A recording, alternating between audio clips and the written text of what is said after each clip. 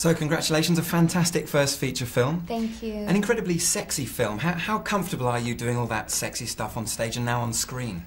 I think what's great about the idea and the concept of burlesque is it is the art of the tease. We're not really revealing too much. It's very tongue in cheek and flirtatious, but it's very empowering, I think, for a woman to feel, you know, um, confident in her body and in her sexuality and not to feel ashamed of it in any, in any way, which I think society over the years sort of does to women. So I think um, it's a very inspiring story and, and very inspiring to be a woman and to be um, enjoying yourself on stage like that. And it's said of your character in the film that she couldn't have got that voice without having it, well, if she'd had it easy in life. Right, right. Do you think that's, does that apply to you as well? I absolutely think so. I think part of my drive and my passion for what I do definitely comes from, um, you know, sort of a chaotic childhood and a difficult um, past here and there. Um, I think those are the lessons in life that make you that much more stronger and that push you to thrive rather than uh, to fall.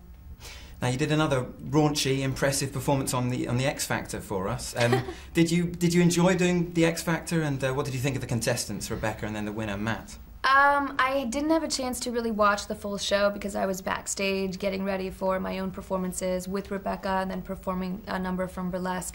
But um, Rebecca was such a sweetheart. I really enjoyed performing with her and so endearing and so, you know, sweet and vulnerable. I, I adored her. And did you get to meet the winner, Matt? I didn't, no. But you, were, were you sorry Rebecca didn't win?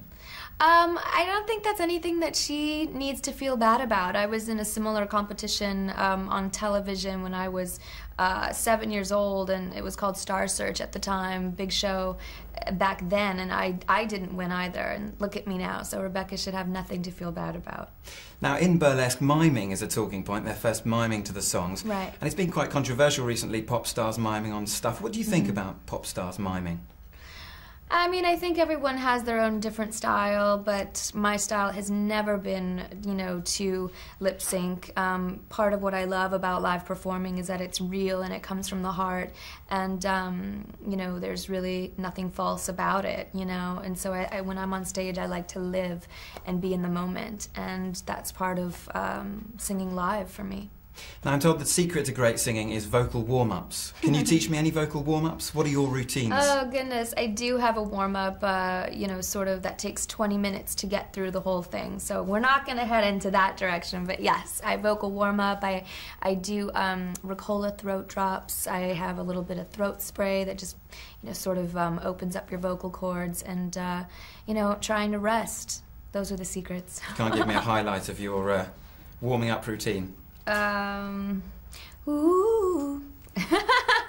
That's pretty. A little something. That's it. No, thank you. Um, so burlesque obviously has its origins in Europe. Um, would you ever do a film? I asked the director this, and he see, he wasn't sure. Would you ever do a film about other traditional European dances, Morris dancing? I'm not sure about Morris dance. What is that? It's a traditional English dance with kind of sticks and bells. Oh, I have to check that out. Maybe not sexy. What, what about Irish dancing, uh, river dance, that kind of thing? Um, I have yet to check that out too, but I would take on any challenge. You know, if I had to do it for a film, um, it would definitely be something that I would study and uh, look into. Finally, the Macarena. Do you know the Macarena? uh, yeah, I think I would take a pass on the Macarena. Couldn't do a film around it, I guess.